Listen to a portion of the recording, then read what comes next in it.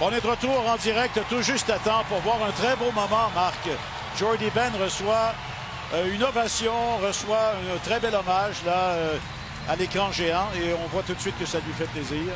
Oui, on salue ses 302 matchs en carrière dans l'uniforme des Stars. Et, tu sais, Pierre, pour un joueur de cette, de cette trempe, là, qui n'aurait jamais son, son chandail retiré ou euh, des salutations, des honneurs, des grands honneurs, d'effectuer un retour et d'être euh, aussi chaudement accueilli, ben, clairement, c'est spécial pour lui qui dispute un premier match à Dallas depuis son départ vers Montréal. Et un modèle de patience, de résilience, de courage aussi dans sa carrière parce qu'il a atteint la Ligue nationale sur le tard. Ah oui, beaucoup de persévérance dans son parcours.